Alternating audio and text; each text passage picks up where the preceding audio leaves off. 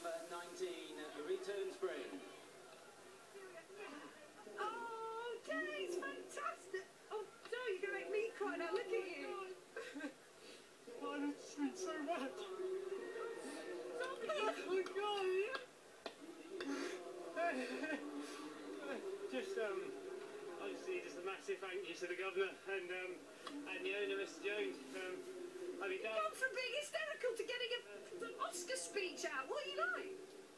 I've been I've been down with Mr. Hobbs for six years now, and he's been so so good to me. Um, I mean, it just doesn't get better than this.